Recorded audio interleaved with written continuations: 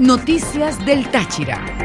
Oigan bien esta noticia. Esta noticia va, a alegrar al Táchira y tiene toda una investigación que he ordenado hacer con la SODI Táchira, que está al mando de esta investigación, donde van a caer un número importante de trabajadores o relacionados o personas que hacen vida alrededor de la termoeléctrica de la fría. Tenemos una investigación, conseguimos unas eh, mangueras de 4 y 6 pulgadas que iban directamente al monte de la termoeléctrica de la fría.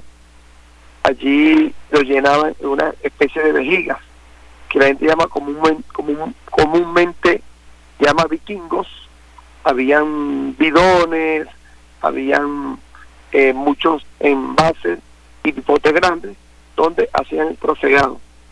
Eh, hemos pensado, se ha pensado que se perdía o se robaban de contrabando unos, unos 40 mil a 50 mil litros de diésel al mes. Estamos hablando de eso, eh, hay una investigación importante ya informamos al presidente de Corro Puelet, el, mayor general Mota Domínguez, informamos de esta situación particular de contrabando, hurto de gasoil en la termoeléctrica de la fría. Y vamos a ir con todo el peso de ley.